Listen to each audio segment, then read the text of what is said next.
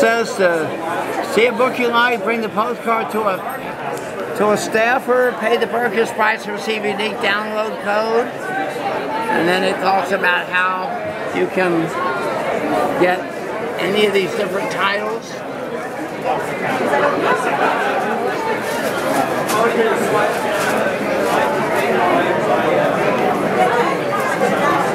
Very wide selection.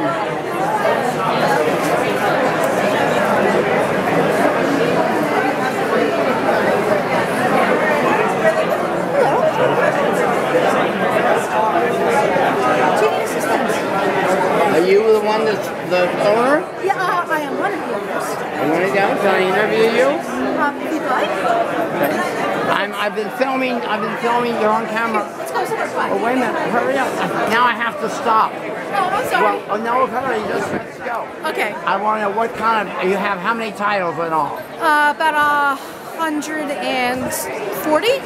And are they all LGBT? Uh, everything is LGBTQ. We represent all shades of the rainbow. So, uh, obviously, gay and lesbian, but bisexual, trans, uh, asexual, intersex, all kinds of things. And what, what's the best seller and what it, it, it genres? Is it romance? Um, yes, our best, um, our most popular genre is contemporary romance. And what's the next? That's a good question. Huh? Probably uh, erotica, I would say, and then um, behind that would be romantic suspense. And how about sci-fi? You mentioned sci-fi. I personally love sci-fi. It's one of my sci-fi, and fantasy, speculative fiction are like my favorites. Um, but no, it's actually a very hard sell in this particular genre. Is, is there anything in the trans area that's particularly unique and stands out? Yes, actually, we have a title called Static by L.A. Witt. Um, that book won a lot of awards. It was a two-time Lambda nominee. It won an Epic Award. Uh, it won. Is it here somewhere? It is. I could show you. Yeah, hurry Yeah. up, hurry up. We got a minute and a half.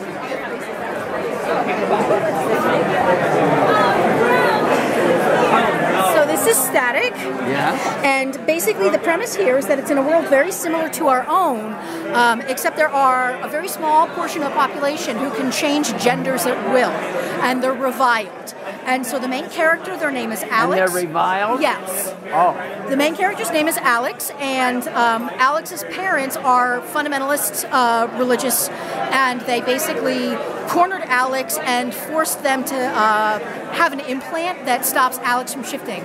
So Alex gets stuck static as a man, and so the book is about Alex dealing with how does how, how does he get the implant out that he's in the wrong body because he feels like a woman. Oh, it's really science fiction. It is, and also how Alex deals with um, the relationship with his girlfriend, um, excuse me, his boyfriend, who thinks, who didn't realize that Alex was a shifter and thought that he was a, a woman, and also like at work and all these places where Alex wasn't out.